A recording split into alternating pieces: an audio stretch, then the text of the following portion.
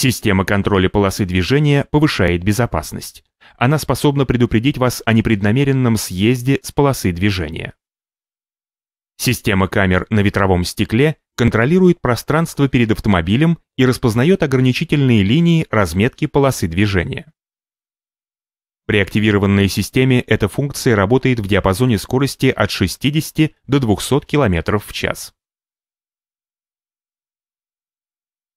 Чтобы выключить вспомогательную систему, с помощью кнопок на рулевом колесе выберите меню «Вспомогательные системы» в бортовом компьютере. В меню системы контроля полосы движения выберите «Выкл», чтобы отключить вспомогательную систему. Выбрав стандартную или адаптивную настройку, можно активировать систему.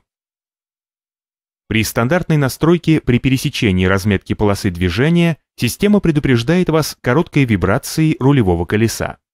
Предупреждение не производится, если вы включили указатель поворота или если срабатывает система безопасности движения, например, АБС.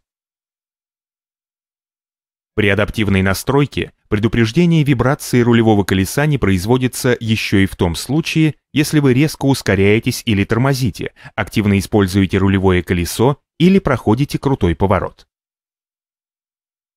Система может распознавать различные условия с целью своевременного предупреждения и исключения необоснованного предупреждения водителя при наезде на ограничительную линию разметки полосы движения. Таким образом, предупреждение вибрации рулевого колеса может производиться раньше, чем вы пересечете сплошную линию разметки. При движении по узкой полосе или в повороте предупреждение, наоборот, может производиться позднее.